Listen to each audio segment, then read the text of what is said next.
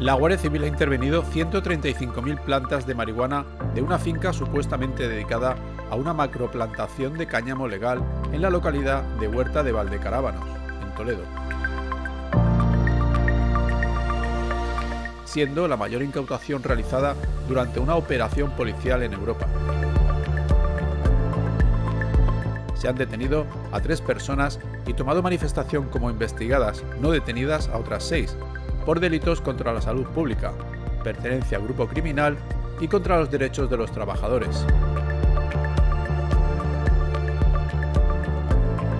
Dedicaban el cultivo al falso cáñamo industrial en una finca de 12 hectáreas. También fueron intervenidos 112 kilos de cogollos de marihuana en el aeropuerto Adolfo Suárez de Madrid-Barajas, destinados al tráfico de drogas internacional.